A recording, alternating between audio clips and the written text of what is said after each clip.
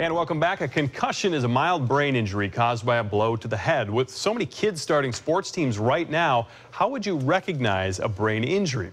Wade on your side has the answers for you today. And joining me now is Dr. Patrick Mularoni from All Children's Hospital. Good to have you with us today. Thank you. This is a hot topic because especially this time of year, and, and over the years, science has shown us how important it is to look for concussions and watch out for them. So going back to school, football's starting, uh, impact sports are starting.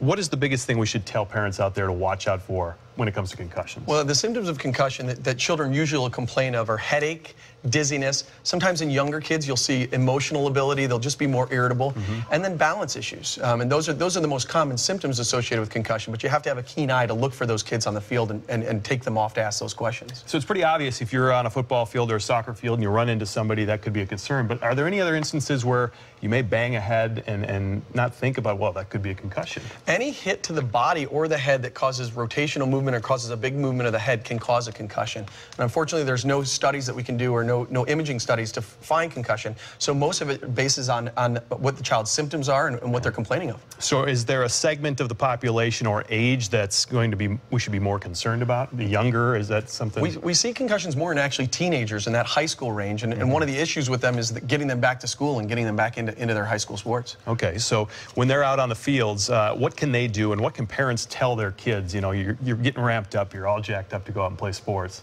what can they do to just say, hey, be careful, you don't want you don't want a concussion? Well, the, the state of Florida has mandated that all student athletes this year start um, by watching a 30-minute video. So all the kids before they go play sports know more about concussion, and just warn them that if, if you have a concussion or any of these symptoms, when in doubt, sit out and, and, and ask those questions. And it's amazing too with all of the specials out on, on in the media about uh, helmets and just safety of protecting from these concussions. I mm -hmm. mean, it, science has come a long way. It has come a long way, and one of the things that that we're really pushing now is the whole return to learning thing. You know, the Florida High School Athletic Association has done a great job with getting kids back on the field, but it's getting them back into the classroom that becomes the okay. biggest issue. So they need to focus there to get the information out before you hit the field. Absolutely. And you have a great video out as well. You can see uh, the video that they put together at tampabayparenting.com.